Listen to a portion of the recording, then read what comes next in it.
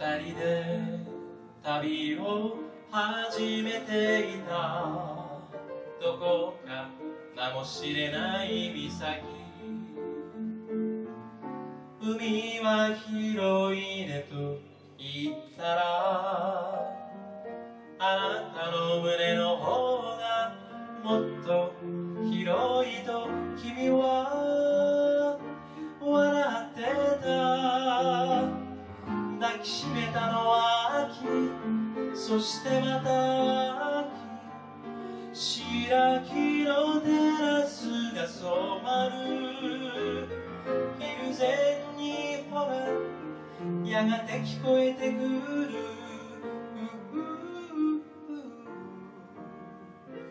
冬学章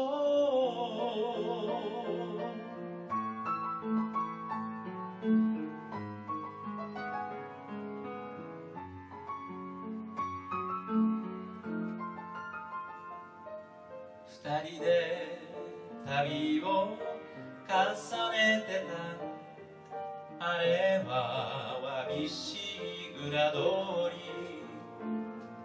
朝までのもうと言ったら私を抱ける時間そんなにないと君は泣いていた。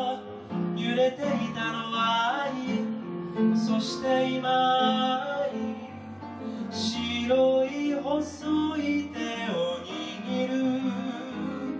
昼前にほら雲が奏でている。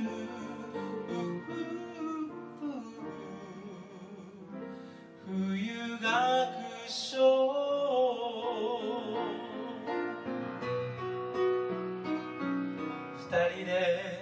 旅を続けてた。いつかベッドに腰掛けて。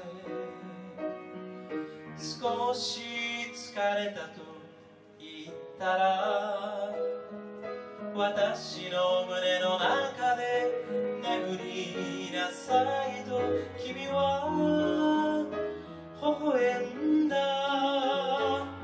歩いたつづらそしてまた道人生という遠い峰昼前にほら風が歌っている。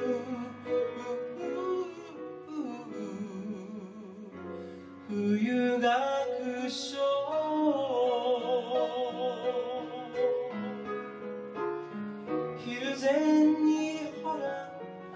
気が舞い始める。